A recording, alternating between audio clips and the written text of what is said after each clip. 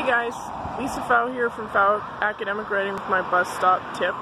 So this week I've been talking about motivation and routines and I've been working on my own workout. So yay, I did four days this week. Three days, took a break, and now I'm on to the second cycle.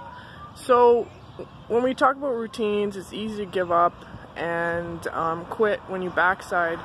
Just so you know, typically takes a minimum of 66 days for a routine to become a habit. So don't beat yourself up.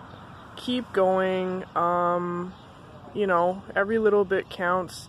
This week, I started doing exercise in the morning. One day I did it at the end of the night. At least I did it today, kind of like a little later. So, you know, just do your best. Keep trying and, um, yeah, don't give up. So, we'll see you soon.